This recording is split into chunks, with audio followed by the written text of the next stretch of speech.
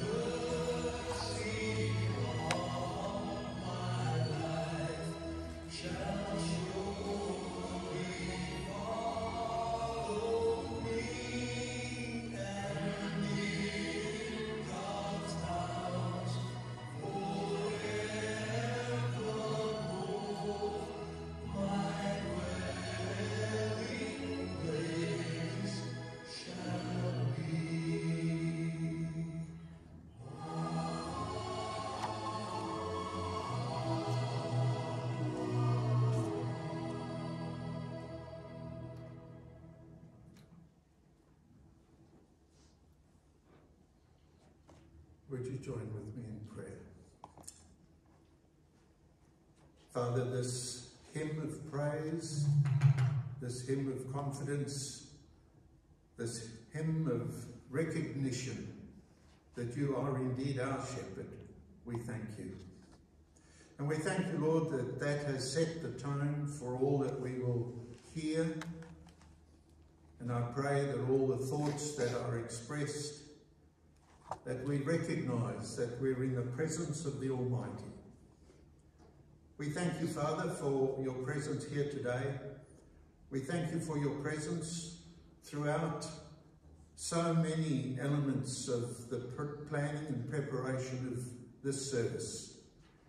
And as we stand by Sandra and all the family, Michael and his family, we pray that you would comfort them, that the sentiments and truths that we've just heard in that song may be which draws us to yourself, gives us strength, and gives us hope.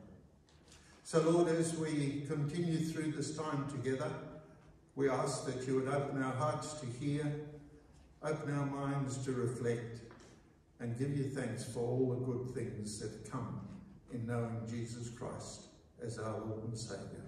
Amen. As I mentioned at the start, the theme is that of hope. And I've chosen a, a, number of verses. It's interesting that when you get into concordance and you see how many verses there are in the scriptures of hope, uh, they're, they're almost countless.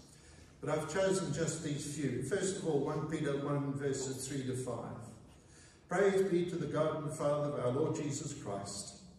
In his great mercy, has given us new birth into a living hope through the resurrection of Jesus Christ from the dead, and into an inheritance that can never perish, spoil, or fade, kept in heaven for you, who through faith are being shielded by God's power until the coming of the salvation that is ready to be revealed in the last time. And Paul would have said, Amen, Amen, Amen. Hebrews 11, verse 1. Now faith is being sure of what we hope for and certain of what we do not see. Romans 5. Therefore, since we have been justified through faith, we have peace with God through our Lord Jesus Christ, through whom we have gained access by faith into this grace in which we now stand. And we rejoice in the hope of the glory of God. Not only so, but we also rejoice in our sufferings because we know that suffering produces perseverance, perseverance, character, character, hope. And hope does not disappoint us because God has poured out his love into our hearts by the Holy Spirit whom he has given us. Psalm 33 verses, uh, verse 17. A horse is a vain hope. There, well, that's a different view of hope. A horse is a vain hope for deliverance. Despite all its great strength, it cannot save. But the eyes of the Lord are on those who fear him, on those whose hope is in his unfailing love, to deliver them from death and to keep them alive in famine. And Psalm 33 goes on to say, We wait in hope for the Lord. He is our help and our shield. In him our hearts rejoice, for we trust in his, in his holy name. May your unfailing love rest upon us, O Lord, even as we put our hope in you. And so Paul's theme, or this theme that uh, rang true so often, is, is one of hope. And it's a, a message that we all need to hear today. His hope, that last verse in Psalm 33. O Lord, even as we put our hope in you. Now I'm going to invite uh, Michael to come and share his thoughts, and then that will be followed by Roberta. Morning. Uh, you know, it's funny how things go wrong. Not everything always works out, you know. And yesterday, the day before yesterday, we come here and we met with Steve and Pastor Steve and Pastor Noel you know, Sandra and had a chat and we made some changes right here. I made some changes to the order of service. Sandra, I spelt Sandra, Sandra's sister, named Cheryl with an S, and immediately changed. You have to get things wrong, you know, right, you know. So I went home that evening and I changed it all. So the next morning I'm going to get it printed, I? I'm going to get the order of service printed. So I opened the computer and guess what? It disappeared rather than say I hit.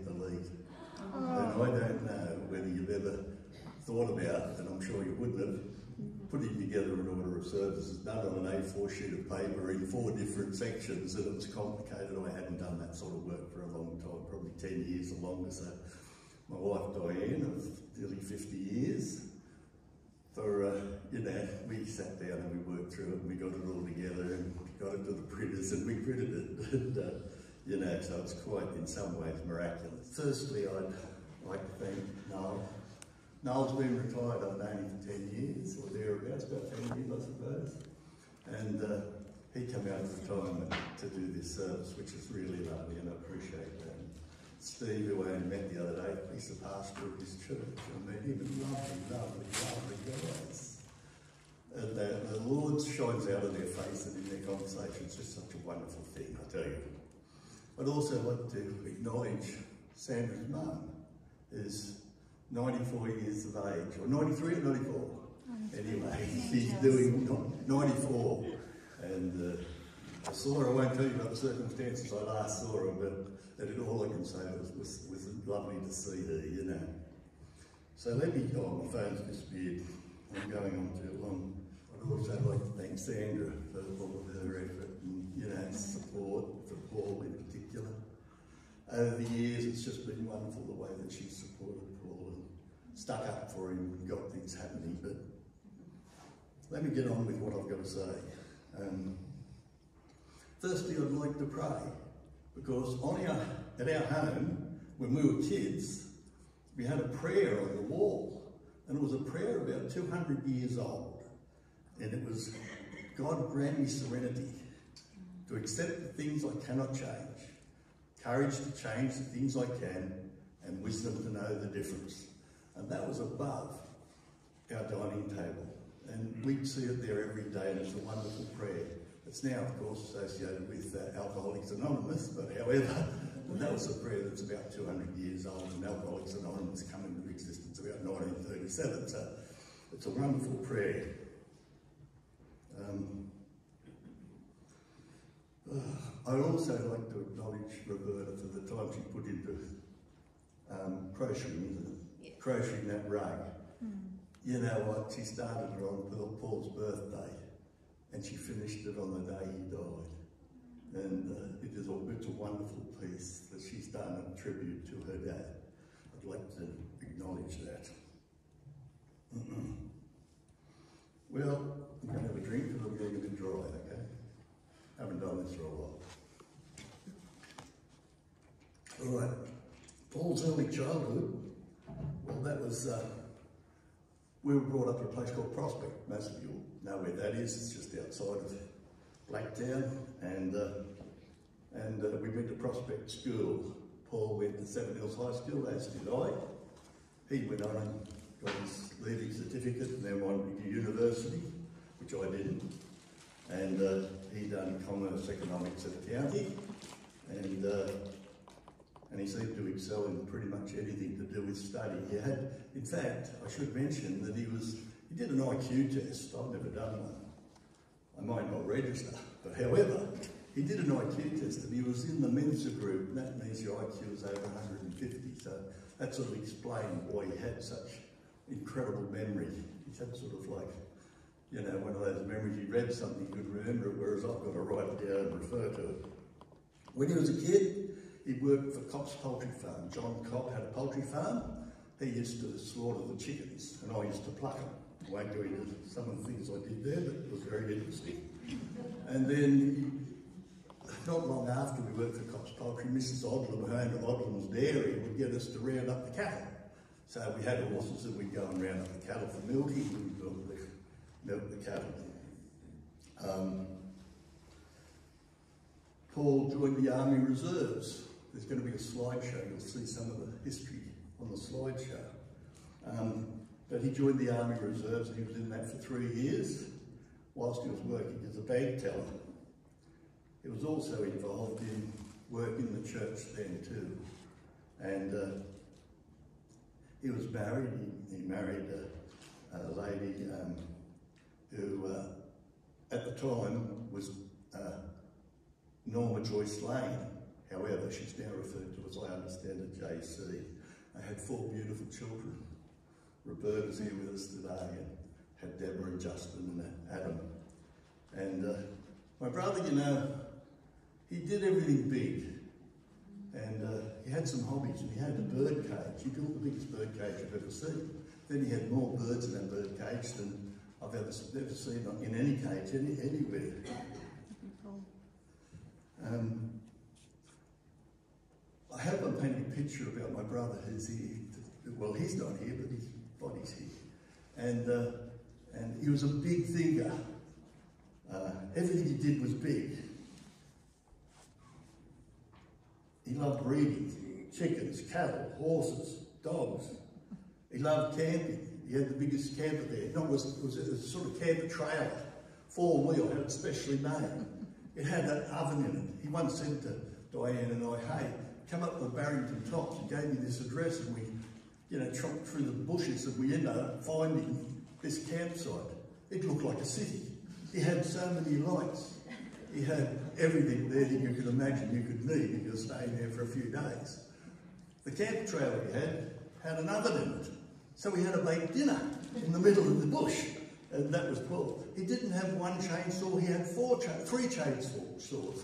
One for Justin, one for Adam, and one for himself. You take three chainsaws with you into the bush. So he had a pretty significant 4, 4 by 4 as well. Paul, as he grew older, got involved in the Catholic Church and he became an acolyte. And then I joined the church, Pentecostal church. If you know what they're all about, they're pretty, you know, out there. And uh, I know if I could go to that church, but at the time I didn't. And uh, he didn't like it at all. So a woman by the name of Jenny Warburton introduced him to a, the Catholic renewal. Well, Paul, like anything else he did, he got really involved. And before you knew it, he was in charge of the Catholic renewal here in Sydney. And uh, he was running conventions and bringing out, he brought out Father John Bertolucci, who was the, the uh, priest that ministered to the Pope. He brought him out here and he come to church that I was going to at the time, and three and a half thousand people turned up. Have to get a, an understanding of my brother. He thought big, and uh, he did things big. And uh, he then brought out another priest by the name of Father John, uh, Father Dean Braun, and an outstanding uh, man, a beautiful man, sacrificed his life to serve the Lord. It was just a wonderful thing. This is my brother. He then decided that he'd like to go into farming. And uh, he didn't have one horse or two horses. He had up to about a hundred quarter horses. And uh, he had uh, some of the best bred horses in Australia. He had a El Caballo Blanco, white stallion, and by the click of Paul's thumb, or fingers, or whatever he did, the horse would lift its four legs off the ground and jump. It was quite amazing. Roberta, of course, I remember it, you know, quite amazing thing. Um, Paul also, he did everything himself. He delivered foals. He sewed up horses' legs when they got them caught in barbed wire. He, uh, he, uh, he branded the cattle. He had me at one stage branding the cattle with him. And I had three broken ribs at the end of the adventure. And uh, he wrote the, the Articles of Association for Q76. Q76 was uh, a uh, quarter horse race that he put on in Canberra. He founded Q76, and it was a big occasion because he had the Premier of New South Wales at the time there, Neville Wran. He also had Kerry Packer, who was there at the race. And because Kerry Packer owned the property next to where they were at, at the time, the family lived at Bendemeer, which was 40 kilometres uh, north of um, Tamworth. Charlie, oh, by the way, I call my brother Charlie, okay? His name was Paul Charles Morrison Child. And I've always done things a little bit different, so I refer to him all of his life as Charlie. So now Sandra refers to him as Charlie too, occasionally, or at least she does when um, she's talking to me he worked with different churches and he fed the hungry. He clothed the unloved. He did some wonderful things. It fills me up with tears to think what a contribution he made to their lives. One of the most outstanding things he did, in my opinion, was he was on an elephant. I said on the order of service, he's an adventurer. Well, he was on an elephant in Thailand. Were you there, Roberta? No. No, okay. He was on an elephant in Thailand, in the middle of the bush, not just walking around an oval, uh, in the middle of the bush, doing safari. And he saw a little kid under a house, and he stopped. He went and he introduced himself to that little girl's father. The girl had a distorted face. She was horrible to look at. Paul got back on the elephant and rode away. The next day, he went back. he picked that little girl up. He organised to have her face reconstructed. So it was a wonderful thing that he did. And he was he was recognised in Thailand for his contribution in making that girl's life a whole new world. So, you know, the other thing I should say is Paul met Sandra, of course, and it wasn't just an ordinary marriage. I'm sure that anybody that was there will realise it was a big marriage. Who these days has a seven-piece band at their, at their wedding? Let me tell you, it was something else for those who were there.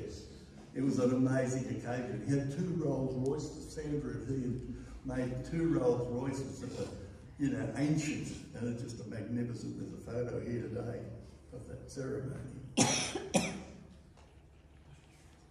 Master, he was, he was married by the pastor that here with us today. Noel.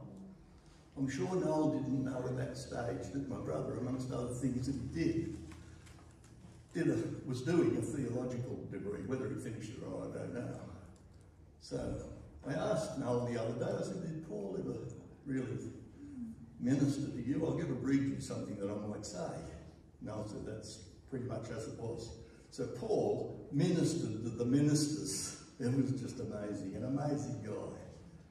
He would share his love of the Lord and commitment and faith and his knowledge but he wasn't arrogant. I think that was, he wasn't, you know, assumptive. He was very gentle the way that he shared. Is that right, Mel?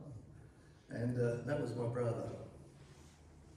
So I'll finish what I'm saying now with something. He and I, I'd meet him, you see the pictures in a moment, and I'd take him for a haircut or, you know, Paul in the end couldn't. I, I said to Michael Bennett out there only a few moments ago, I'm not going to share this, but I'm going to share this.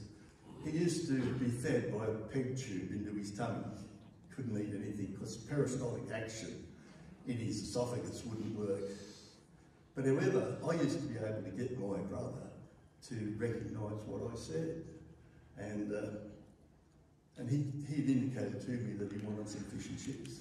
And I said to him, Paul, if you die, if I get them and you die, I'm not taking responsibility. So I would get him fish and chips. I think I told Sandra, but he used to enjoy it. Occasionally he'd cough, and I thought he was going to die, but it never happened. And uh, on his birthday, we even got him some oysters and some prawns, but I wouldn't get them until he told me what he wanted. Now, he couldn't speak. So how did he tell me? I'd say, Paul, I'm not getting those oysters and prawns unless you tell me what do you want for your birthday. He go, oysters! Prawns! Here's a guy that couldn't speak. I'm sure this is the Lord speaking through him because he was giving him the desires of his heart. Paul and I used to pray together. He believed. He was a true believer in his heart. And we would pray. We talked about his passing and my passing. And we, like Noel has already shared, believe in eternity, in eternal life. It's when Paul died, we went to to the hospital. I knew my brother. His body was there, his physical body was there, but his soul, personality and character and everything he was wasn't there. It was already in the arms of the Lord. I tell you, it's a great hope that we have to believe that. A lot of people live their lives and don't know what it is to have that faith. My brother had that faith.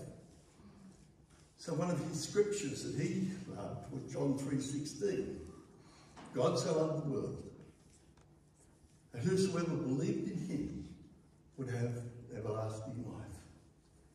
And uh, that's my brother. And uh, I'll love him forever. But I know his body, his personality, his character, his spirit, his soul is in heaven with God. Thank you very much.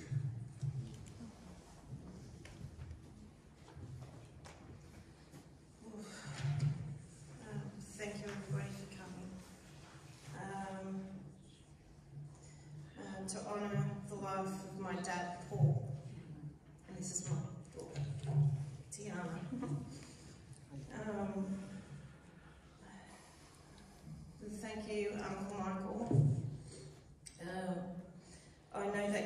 with Dad and recalling childhood stories um, with Dad, everything, he appreciated it and loved. And I know that your brotherly bond is just admirable. Truly is. Um, I'd like to take this opportunity too to acknowledge and thank Sandra, my dad's wife. Quite literally taking your vows in sickness and health until death do us part, you really took them to, to the end. Ensuring that my dad had the best of care. Thank you so much. Anyway, don't know if I've already said it, but I'm Roberta. Um, uh, firstborn, and I breathed my for the first time on the 7th of March 1968. Um, and Dad was a month shy of his 21st birthday, so he was really quite a young, a young dad. Um, but he'd already had practice at being a dad because my sister, um, my mum's firstborn, was three and a half years old, I think, when I came around. And then, uh, lucky me for my second birthday, my brother Justin was born a day beforehand, and then Adam about 18 months after that. Our lives were forged from humble beginnings, and he worked very hard to provide for us. And as the years rolled by, I think we moved about 13 times, probably more than the average um, from residential fibro modest houses in the western suburbs, and then we uh, had small acreages, uh, Arcadia and Hills District and um, Regentville, and as Uncle Michael mentioned, we were at Bendemeer. Um, we moved back to Sydney uh, so that um, they could be part of a business, but so we could also be close to family because we really missed having family close by. Um, we settled in the Northern Beaches. There we moved a few times again. Nothing short of unusual. Um, and uh, after I married, Dad moved the family again to um, uh, to uh, search the dream for his farm life again. Uh, he'd say that when we were young, he could take us anywhere and we never misbehaved and he was a really proud man. We had family gatherings throughout our upbringing, barbecues, and days on the beach, picnics and bushwalks. We were shown museums, zoos, and attending a few musicals, which was a treat in our um, older teenage life. Uh, holidays and camping, camping like nothing else. And I think actually I, um, I when I go camping want to do that. It's like the Taj Mahal of camping if I could get my, my way. Um, we went to the Snowy Mountains, Victoria, Queensland. We'd even had a trip to Bali and um, the boys went to Thailand. That's where the, the elephant came in that lovely story of that girl. Um, there's a few funny stories when I was growing up. My, my dad would take us to Springwood. There was a, a round the world in this park and my dad took sheer delight in spinning us around so much that the boys would be holding on and further and further out they'd come until they were holding on like flags. And we'd be in fits of laughter but Dad was always trying to make life fun for us.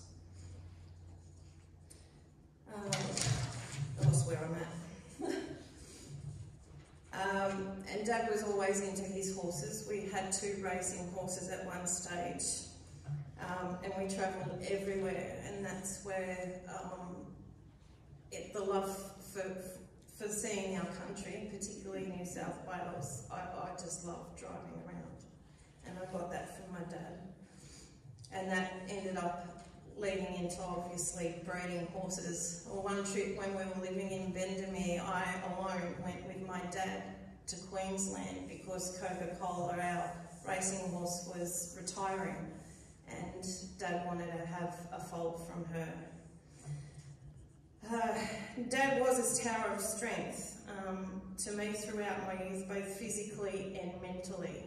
I remember my brother Adam referring to my dad as as tall as a tree and as wide as a post. He was so big.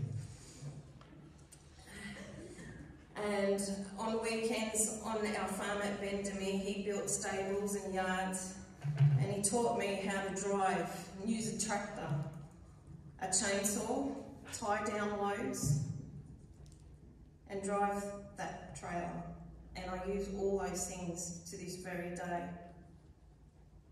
And funny enough, crocheting, he taught me how to crochet.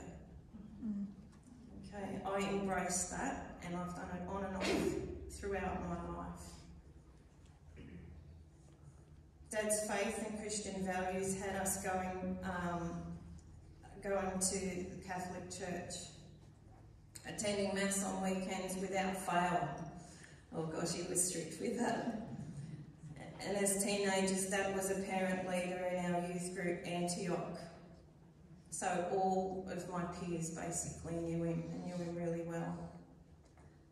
Uh, we also went to trips um, to do missionary work. We went to Palm Island and we went up in Queensland and, and Dad ministered Aboriginal people who, who were homeless. And I do remember that story of that Thailand girl, and she would never have had a life if it weren't for my dad. He also had um, helped immigrant families with housing, and he really did live his faith. Now, Dad loved food and he loved to cook. He was really very good at it and he took pleasure in providing a great meal to share with us. The best Christmas puddings and cakes the ones he made. I'll tell you a funny story, and it might offend people, but if you knew my dad and knew me really well, you'd probably understand. So dad took me to Yum Cha, which is a Chinese lunch. Okay, now I'd never um, experienced this and I was fascinated by all these bamboo baskets coming through. Anyway, one basket got opened and here's all these chicken feet. Now, being brought up on a farm, chicken feet were no problem to me. I used to help my father when he, you know, to eat, we'd be killing chickens and now I understand because of Dad's job when he was younger. But here's these chicken feet and I start laughing and I cannot stop myself. And Dad's trying to shush me up. Stop it, stop it, because he was getting embarrassed. But I share with my dad the fact I couldn't get the image out of my head that these poor chooks are flapping around trying to stand up because they had no feet. And my dad was laughing his lungs up too. Anyway, there are so many funny stories I couldn't possibly share. Um, uh, so when Dad um, started though to lose the ability to um, to eat and drink, um, like Uncle Michael was saying, he loved his fish and chips. And I was devastated for him when he couldn't eat and drink anymore because those things were just so important and intricate just as much as his faith was. Mm. Um, when he moved into his nursing home, we'd go for a walk and in his wheelchair. Initially I was thinking, oh, this is really great. He's wanting to get some fresh air, but no, he was making a beeline to the local shop so he could get some fish and chips.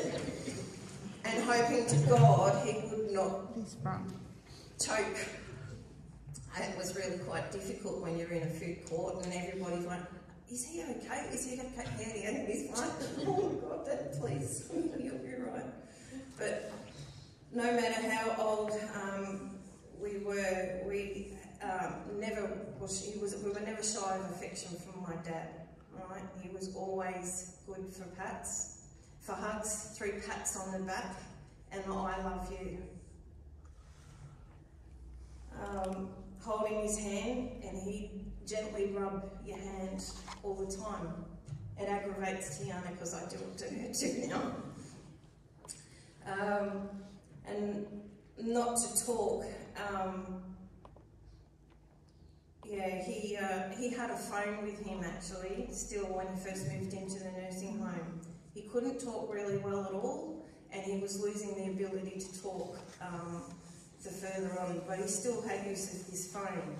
And he'd ring me up, and I would just talk and talk and talk to him. Yeah. And I would do anything to listen and hear his voice. I prayed a lot. If only I could hear him talk one more time. That prayer was answered one day. Held back. And with his croaky voice, I love you, meant the world.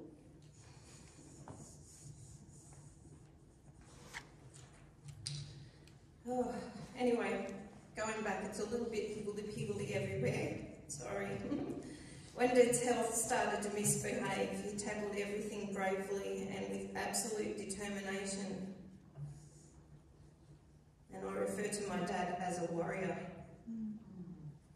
He fought so hard to live when most, given half of the health challenges, may have given up.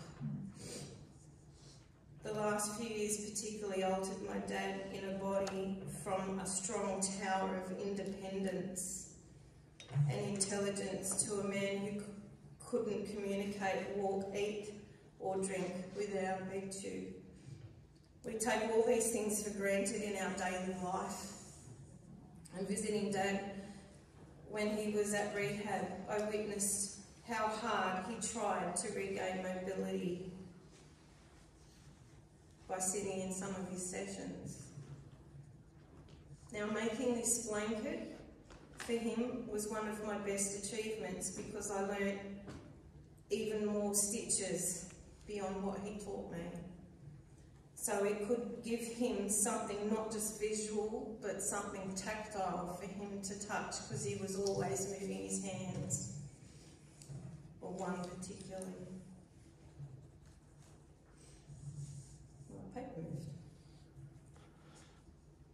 Um, my only regret is that I didn't finish it in time. So he could feel my love surrounding him with every stitch that would cover him. And the news of my dad's passing came minutes after I completed it, quite literally. I took photos of it and then my uncle run. Anyway, um, I'd just like to thank my dad. I wouldn't be the loving parent and capable, independent woman that I am today without him. And I know that if it weren't for his health issues um, for the last few years, that he would be 100% involved in our lives as he once was. I know that even when I was pregnant with Tiana actually, and I had um, Isaac who was only 18 months, my dad, their own part, came up for two weeks to make sure that everything was going smoothly. And it was such a gift. And I know that you would have enjoyed watching your grandchildren growing up and becoming capable adults. And Tiana, um, was all, almost always with me visiting um, with my dad throughout this time. Um, she had special time with Opa, that's what the kids call him. So Dad, rest now and know we will always love you and cherish the memories we have with you. Your soul now has peace in heaven and we, we will meet one day again and I will always love you.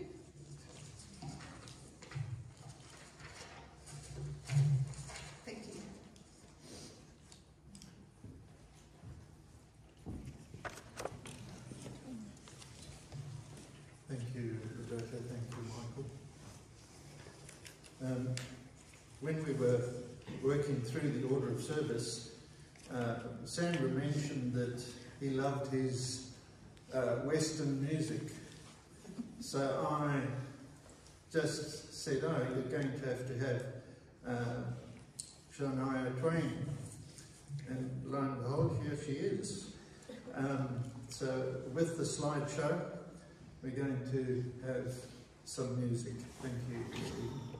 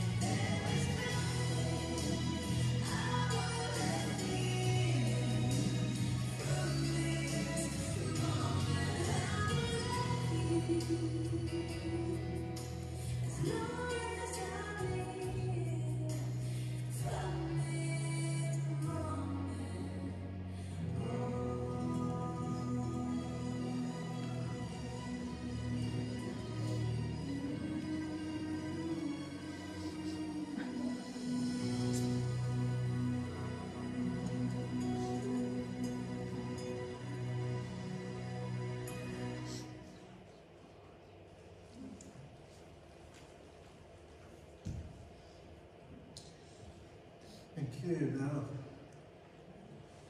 um, Sandra, going to share something with us?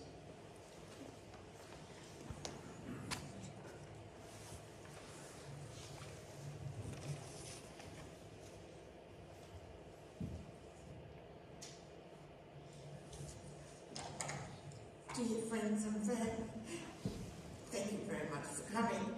I look around and I see not just family, but friends from all walks of life, from our church over at Windsor, my cousins from the South Coast, my dear friend Graham, who's helped me with my gardening when Paul got so sick. Many, many friends have come, so thank you very much. Excuse my emotion. In 1947, quite some years ago, amongst the thousands of babies born, there were two born that were meant to join up sometime in the future when they were much older. One was born in April, and because his mother had waited for him for such a long time, he was named Paul after the apostle. in November, a little red-headed girl came along. Her name was Sandra Mockbee and they were destined to meet up, but it was rather a funny story. Paul was raised in a Christian family at Prospect. Sandra was raised at Villawood, geographically quite close. Paul went to Seven Hills High School. Sandra went to Bass Hill High School, again geographically quite close. In 1966, Paul decided to go to university. At the University of New South Wales, he studied economics. Unbeknownst to him, there was a little red-headed girl there too, studying a different degree, but started her degree in the same year, in the same campus. In those days, the University of New South Wales was quite derelict. There was only one building there, and we attended several lectures on the same subject, but different degrees, but never met up. In later years, Sandra lived at Glossodia. Paul worked at Hawkesbury Agricultural College, both of them loved the Hawkesbury area. Paul worked in the cheese and dairy section. Sandra used to come down once a month, if Lavinia remembers, and I'd buy a huge block of cheese. Guess who served me?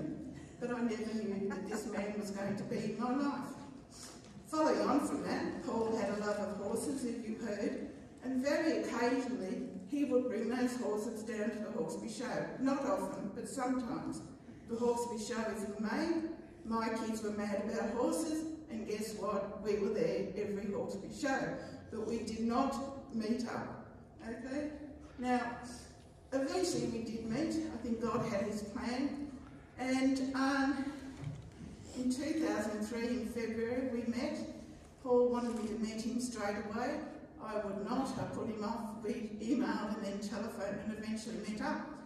The Monday after I met him, I was going to work in the city and there was a new factory being built at Blacktown, and the name of that factory was Paul's. And he was a huge sign over this factory with a cross, and it said, I kid you not, Paul's got it all. So they were referring to the Christian factory, but I started thinking, maybe I should get to know this fellow a bit more. So eventually he proposed and we married. Carrying on from that, excuse my emotions. I was very technologically inept, hopeless when I met Paul, and it occurred to me after we married that his initials were PCMC. So there you go, God. He was to be MC of my PC and my help desk. And he, I thought God had obviously had a reason for bringing this man into my life. I left it all up to him. So, um, okay, so Paul's Christian faith never wavered. He was a shining example of a true Christian spirit. He led the way in many Christian missions, from establishing feeding and sheltering the homeless in Parramatta to establishing prison ministry in some prisons, Glennis and Rolf would know about that, and being a member of Kairos, a Christian organisation that organises help for the partners of incarcerated prisoners.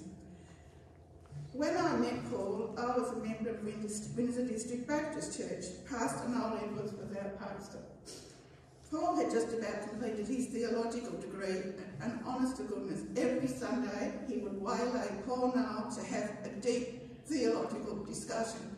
And even on Tuesday, when I went to the ladies' group there, sure enough, if Noel was there, I think he learned to avoid Tuesdays and so thank you, Noel, for your continuing guidance you know, reinforcing my spiritual life in this difficult journey. Mm. I'd like to thank Stephen too for accepting me into his parish recently. My attendance has been a bit remiss with having to see Paul so often. Um, Paul was an exceptionally intelligent man with an IQ that was measured at about 198, which means that he was of the Mensa quality. Unfortunately, the other side of that coin, as with the immediate family, was this dreadful inherited illness. And it is called, if you really want to know the technical terms, familial, meaning family, cavernous hemangiomas, which meant, in essence, lesions or growths within the veins of the brain. So rather than you would have all heard of arterial aneurysms in the brain, Paul was cursed with venous um, brain hemorrhages. He had nine in all, the last one just before he passed away. During his extensive business career, partnered with his brother Michael and later with myself, Paul acted as a consultant and advisor to all levels of government, federal and state, many international and national companies, and businesses with several hundred employees down to sole traders. His Christian integrity and honesty always shone through. October 2003 was our engagement. Paul convinced me to form a small business consultant advocacy group. He had it all worked out. I was going to do the PR and he was going to do other stuff.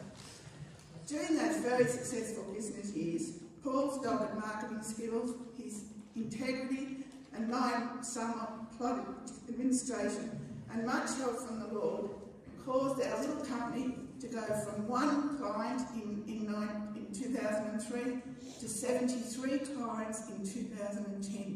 Not a bad record, I think, for a two-people organisation.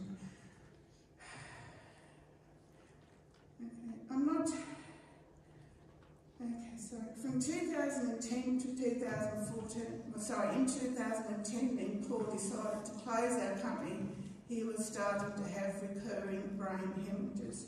So from 2010 to 2014, Paul had, Paul had four more brain hemorrhages, now six and three brain surgeries called craniotomies, and Roberta and Michael would remember those very well. 2014, saw Paul have a replacement pacemaker and a hernia operation.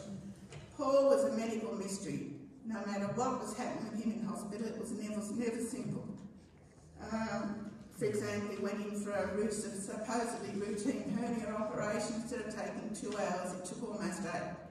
And they had to end up putting a whole sheet of netting over his stomach. Roberta and I sat there for many hours praying for Dad to come through that surgery. So in 2014, he was recovering quite well.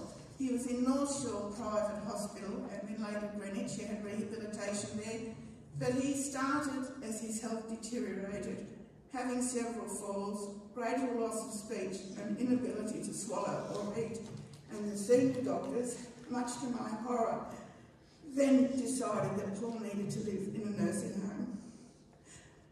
This was devastating to both of us my darling husband had already lived away from me for 15 months.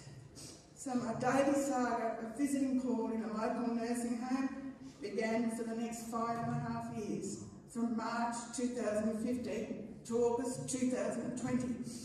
In that time, the stress quite high for me, and at one stage I had a stroke. But thank the Lord, I did recover. When in the last, this will make several family members laugh. In the last seven years, when Paul did live away from me, because of his inability to speak, on many occasions I was called as advocate to speak for him. Um, and I can be quite strong, can I not, Roberta and Michael, where my husband is concerned, looking after his interests. And I'll just say I had many energetic conversations with doctors and nurses at all levels, whether it was hospital, nursing home or whatever. I think Lennox can relate to that. In mid-July 2020, my darling husband was sent against my wishes to Nepean Hospital. His hemoglobin had dropped right down to 30. It should normally be 130 for everyone else. So I reluctantly agreed for him to go across to Nepean Hospital. Investigations there and several surgeries revealed that Paul had massive internal bleeding which never ceased despite 15 blood transfusions in that four and a half weeks. Um, Paul joined the Lord late on the evening of the 11th of August 2020. He had a beautiful large wooden cross in his room for the time he was in the nursing home. Even though he could not speak, that cross spoke for him. And many of the staff there at that nursing home, mostly non-Christian, that cross would always generate conversation. So even though he could not speak, till the very end, he was evangelising for the Lord. Okay. So, I'd like things, a couple of things were evident during my time with Paul. One is the absolute bond between his brother Michael and himself. As sick as Paul was when he was lapsing in and out of consciousness, Michael would only have to enter the room and speak, and Paul's eyes would come open and he'd try and nod his head. He knew that his beloved brother was there. When his daughter visited, the same thing instantly. Go from a deep sleep. Yes, Roberta's here. She would talk to him on the phone. Hold the his ear and he would listen and blink his eyes. He could hear the conversation. So I thank them both. I thank the support from others that I've received along the way. So fail to you, my darling husband. Onward, Christian soldier. Thank you all very much.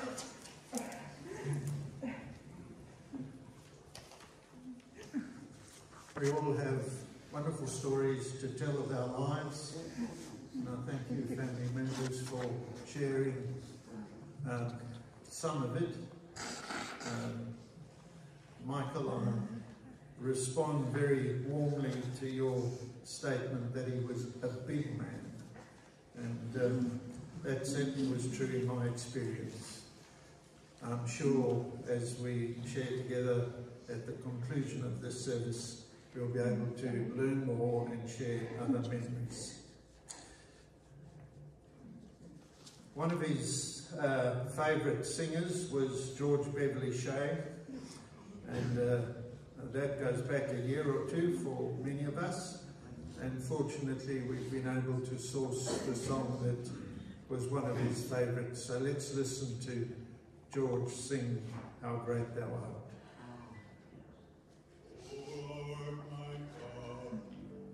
When I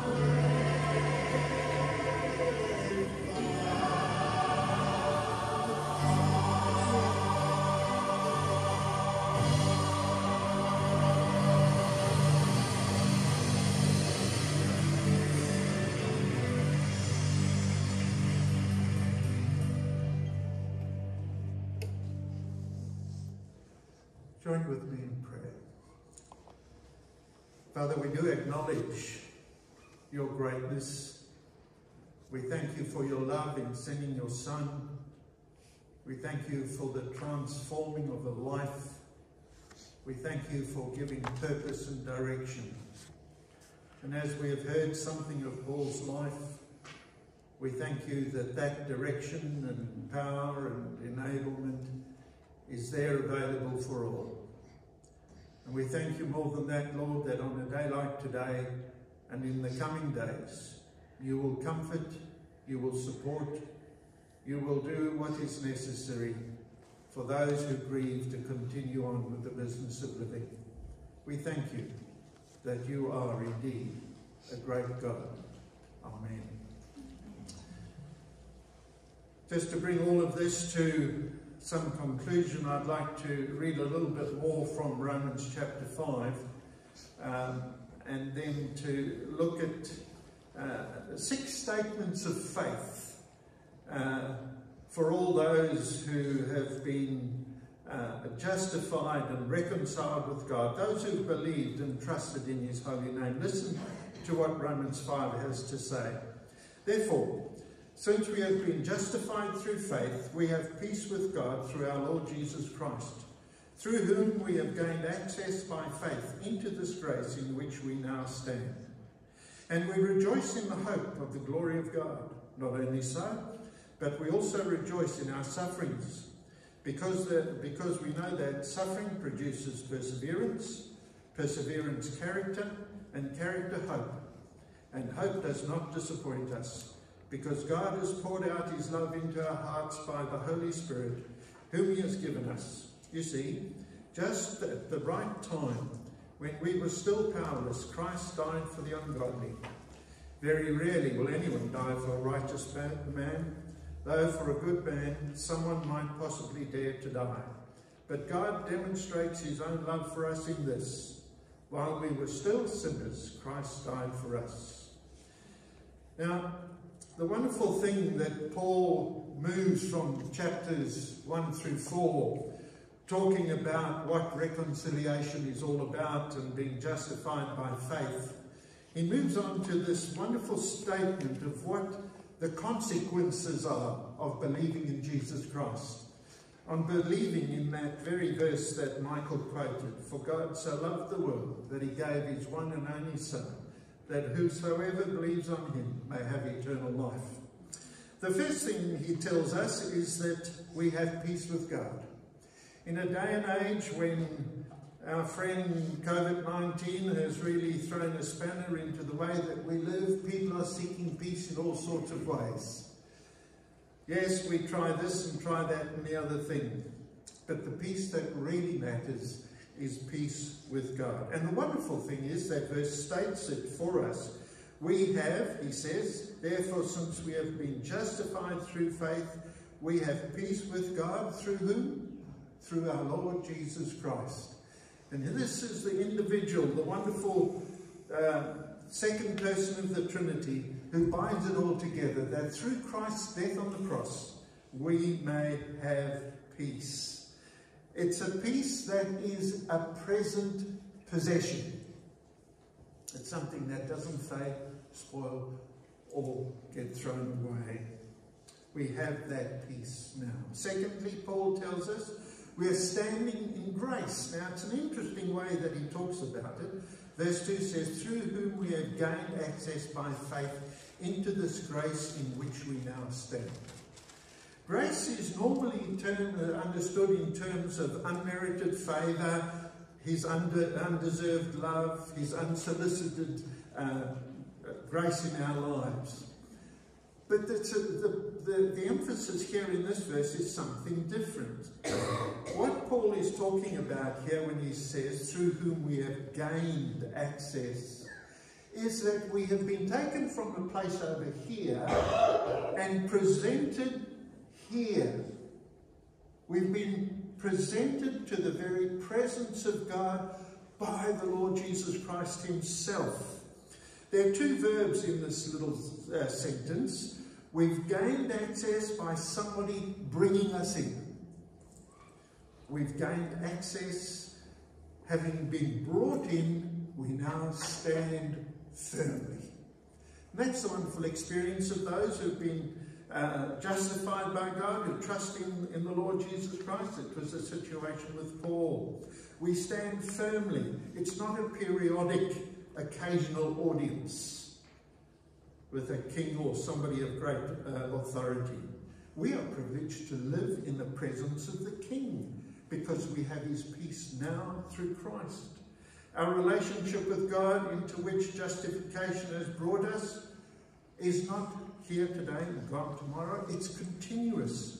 It's not precarious. Am I doing the right thing? Will it work? No, it is secure.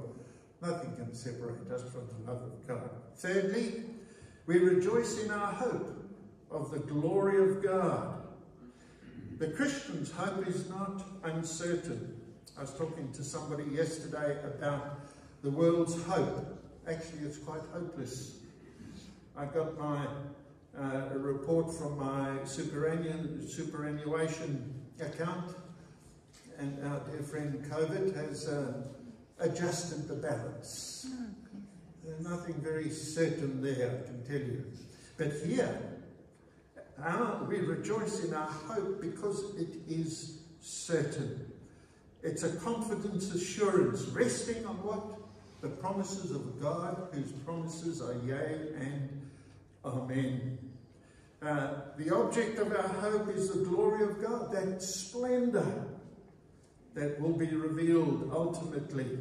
And it's been uniquely displayed. Thank you, Sandra, for bringing that cross. The cross is that moment in history when Jesus died for us all. And there he hung that we might live. But it's also the hope of glory that we will one day be changed. Paul, that body that struggled in so many different ways, changed in a flash. Our bodies in the presence of God changed. And not only that, this world with all sorts of decay in so many different ways will be changed. The glory of God. So the fruits of justification of believing in God is past, it's present, and it's future. Nothing else can offer us the same thing. The fourth uh, statement of this in this paragraph I read is that we rejoice in our sufferings. What is it? Suffering produces perseverance, perseverance character, character hope. One thing builds on the other. The one thing is needed, the one thing is needed for the next to happen. And look what he says in verse 5, and hope does not disappoint us. It's a bit of a strange thing. Hang on a minute. I'm suffering. I'm struggling. I have all sorts of uh, hardships. And yet I've got to be hopeful in it all. Why? It doesn't disappoint us because, as the verse says, God has poured out his love into our hearts by the Holy Spirit whom he has given us. Here I am struggling. Here you are struggling in various things. Paul struggles. And God's promises were absolutely sure. I came across a wonderful definition of love. Listen, listen to this. The essence of loving is giving. For God so loved the world that he gave his one and only Son. The Son of God loved me and gave himself for me. The degree of love is measured partly by the cost of the gift to the giver and partly by the worthiness or unworthiness of the beneficiary. The more the gift costs the giver, the less the recipient deserves it. The greater is the love to be seen. See, here I am, here we are, guilty before God, sinners as he calls us. And yet Jesus died for us. I'm not worthy of that. Nobody is and yet he gives us his son. So the real definition and the wonderful demonstration of what love is, that the greatest cost, giving of a life for the unworthy, was our Lord Jesus Christ. Jesus died for the world, the sin of the world. So, measured by these standards, God's love in Christ is absolutely unique. In sending his son to die for sinners, he was giving everything, his very self, to those who deserve nothing from him except judgment. And that's what he says. Suffering produces perseverance, perseverance, character, character, hope. And hope does not disappoint because God has poured his love into us. Jesus Christ in his very self. Number five, Jesus shall, uh, we shall be saved through Christ. Yes, there's no other one who can save us. It is through that wonderful uh, life on the cross of perfect, of perfection, taking all our misdemeanors upon himself, setting us free. There was a dear friend over at Narrabeen when we used to minister there, and his theme in his life was, the best is yet to be. How true. The best is yet to be. Saved by Christ. And finally, verse 11, not only is this so, but we also rejoice in God through our Lord Jesus Christ, through whom we have now received reconciliation. Five, uh, six things. Peace, standing, hope, suffering, saved, and rejoicing in Christ. The six characteristics that Paul knew that every believer, those who know and love the Lord Jesus Christ, can say this morning, Amen. I know it is true. The Christian way is the way of life. Would you join with me in prayer?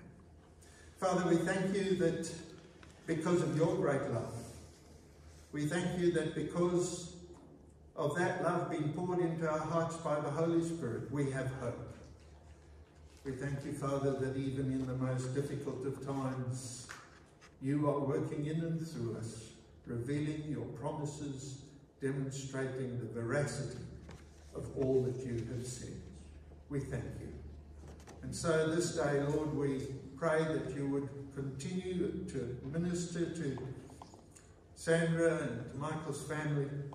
Thank you for their testimonies today.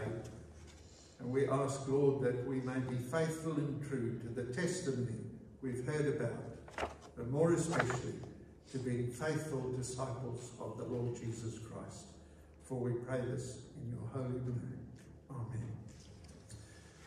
And we're going to uh, come to this point where we have our committal and lead the coffin out. And I'd ask you to stand and I'll just have a, a brief word of prayer and then we will work together.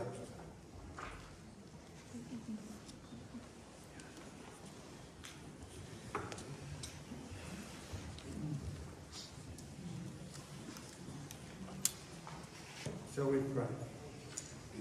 Lord, we thank you and praise you for giving us your Son, the Lord Jesus Christ, and the ministry of the Holy Spirit, we praise you for the life you have given Paul, who served you faithfully, and now we commit him to you. We pray that your presence will comfort all who mourn, all who grieve, and give them hope and purpose. And we pray this especially for the family. In Jesus' name, amen.